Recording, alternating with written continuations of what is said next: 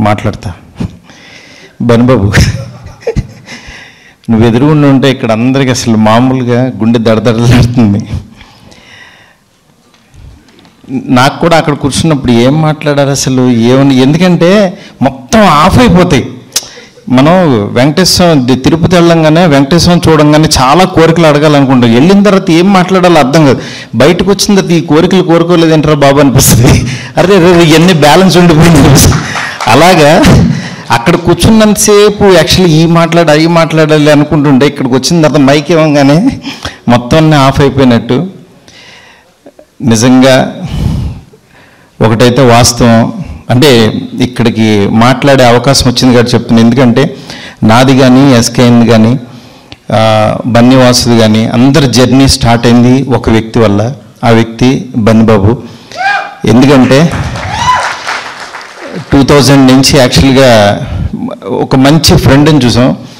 ఎందుకంటే నేను ప్రాణం అని ఒక సినిమా చేశాను ఫస్ట్ డిస్ట్రిబ్యూషన్ అసలు మనకి ఏమీ తెలియనప్పుడు ఎవరో డబ్బులు పెట్టమంటే పెట్టాను మొత్తం పోయింది.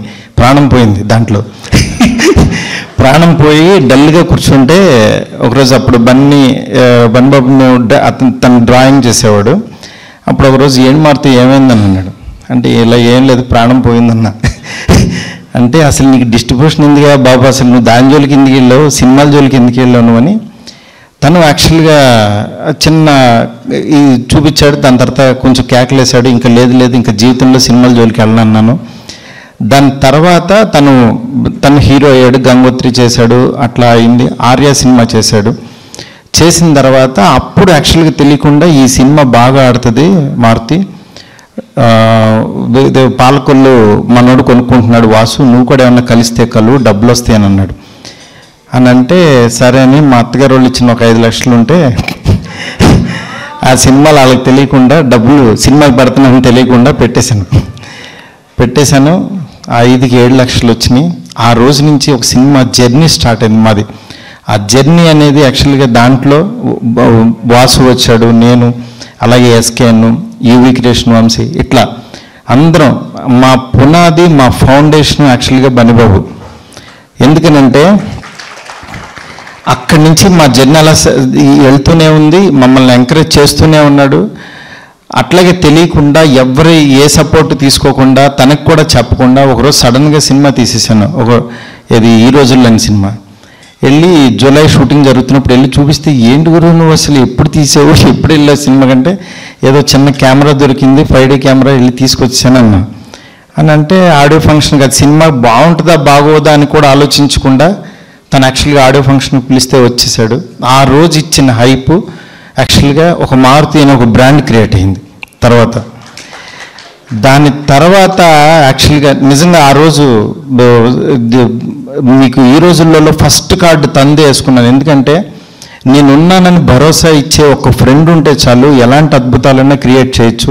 దానికి కారణం అల్లు అర్జున్ అని ఎందుకనంటే తను ఏమీ మాట్లాడక తను వెనకాల ఉన్నప్పుడు తనతో మాట్లాడితే చాలు ఎంత ఇన్స్పిరేషన్గా ఉంటుందంటే అంత డబ్బులు అంత ఇది ఉన్నా ఎయిటీన్ అవర్స్ ఏ డే కష్టపడేవాడు అప్పట్లో.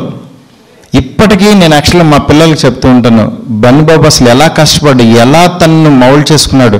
ప్రపంచాన్ని తను ఎలా చూశాడని చెప్పి చెప్పేవాడిని.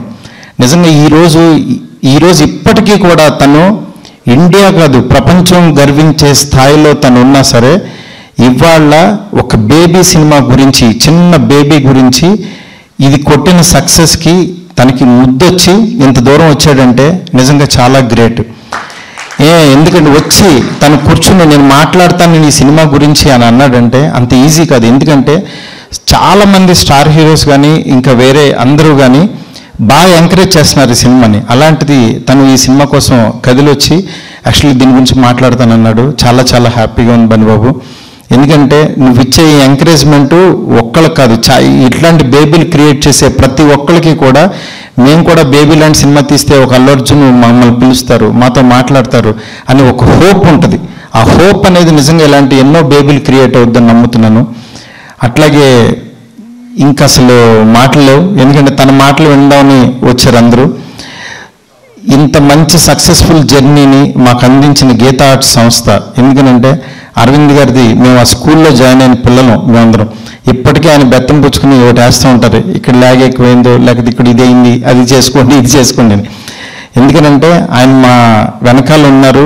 మేము తీసే మంచి మంచి సినిమాలకి ఎప్పుడూ బ్యాక్ బోన్గా ఉండటం మాకు చాలా హ్యాపీనెస్ అట్లాగే ఇలాంటి సినిమాని అందించిన మా సాయి రాజేష్కి ఫస్ట్ ఇంత మంచి సినిమాకి చాలా రోజుల తర్వాత నాకు పర్సనల్గా నాకు ఇంత హ్యాపీనెస్ ఇచ్చిన సాయి రాజేష్కి మనస్ఫూర్తిగా థ్యాంక్స్ చెప్తున్నాను. Thanks a lot thank you thank you so much